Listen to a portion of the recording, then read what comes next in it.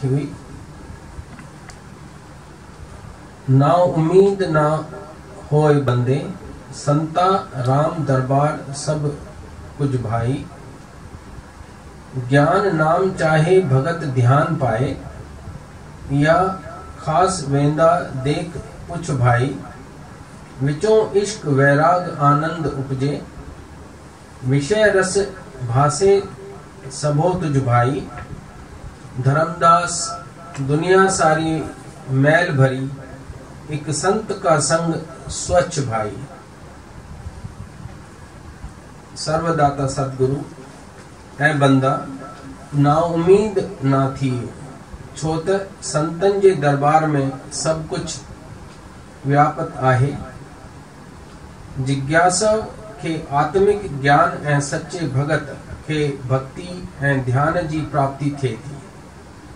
या गुरुनि जी ख़ासि ऐं प्रमाण वेदन माँ ॾिसी ऐं ॼाणे सघिजे थो। अहिड़ी सची वाणी ऐं सिख्या ॿुधी करे प्रेम ऐं वैराग जो आनंद जी प्राप्ति थिए थी। जंहिंजे साम्हूं संसारी पदार्थ ऐं विषय विकारनि जा सुख मालूम अझाइनि था। स्वामी धर्मदास जन चवनि था त सारी दुनिया दुख रूप ऐं मैल गंदगीअ खां भरियल आहे, ऐं सिर्फ़ हिकिड़ो संतन जो संग ही निर्मल, स्वच्छ, पवित्र ऐं आनंदिक आहे।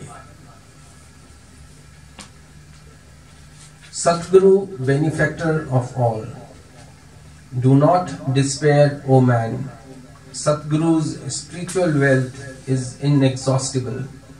A true seeker receives the ultimate spiritual knowledge from him, and a true devotee receives spiritual bliss and higher attainments too. This knowledge is found in the Vedas and the Holy Scriptures.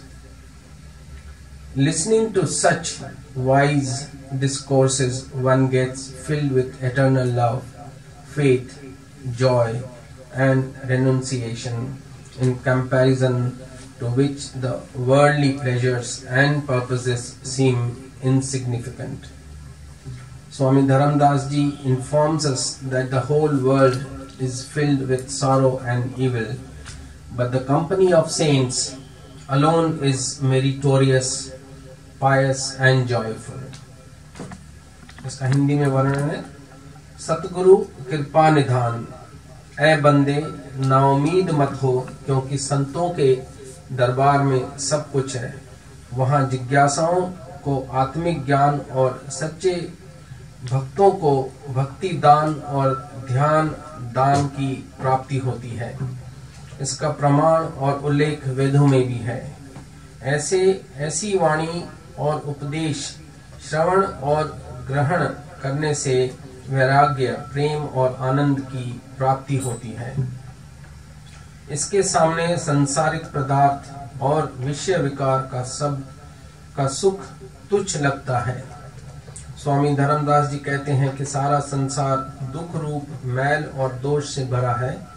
केवल एक संतों का संग ही निर्मल, स्वच्छ, पवित्र और आनंददायक है। बोलो जी, स्वामी धर्मदास साहिब की जय।